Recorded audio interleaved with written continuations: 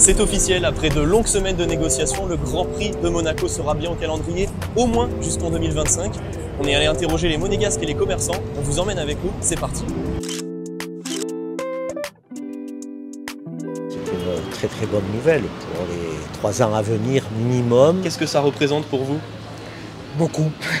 Comme tous les commerçants, c'est énorme. Il ne faut pas que ça disparaisse, un Grand Prix. Pour euh, les commerçants, c'est bien. Les restaurateurs, les commerçants, les petits boulots saisonniers, euh, c'est c'est bien. Euh, ça permet ben, de pouvoir continuer à ben, accueillir, à organiser les choses comme il faut et de la meilleure façon qu'il soit, accueillir les gens qui viendront. Bah, c'est super parce que dites quand même, quand même Monaco et le Grand Prix de Formule 1, c'est quand même très.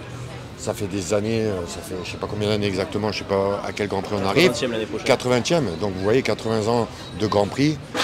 Que Monaco se sépare du Grand Prix de Formule 1, nous on serait triste quand même. On vend énormément, euh, mais vraiment énormément. Je pense que c'est la période de l'année où on vend le plus. hein. Voilà, Ça crée de l'emploi Oui, ça crée de l'emploi saisonnier, ouais, c'est pas mal. Puis ça, pour nous, ça débute euh, la saison, voilà. On commence par le Grand Prix, euh, puis voilà. Ben, La semaine du Grand Prix, c'est une semaine un peu exceptionnelle hein, parce que éventuellement on ne travaille pas avec les gens d'ici, d'Octoctone, mais on travaille qu'avec des étrangers. Donc l'absence de Grand Prix aurait été quand même euh, une grave, euh, un grave manque pour l'économie. Les gens viennent, ils sont heureux, ils sont sympathiques et ils dépensent. Ils dépensent à compter, c'est pas un problème. hein. Voilà, non, c'est énorme.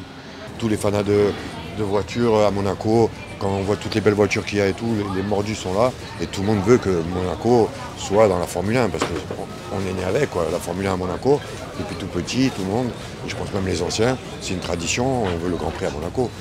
Puis, puis c'est bien, c'est pour la ville, euh, pour les commerçants, pour l'ambiance, pour. Non, c'est génial. Dommage, c'est que trois ans. hein. On va espérer qu'au bout de trois ans, ça se repasse. hein.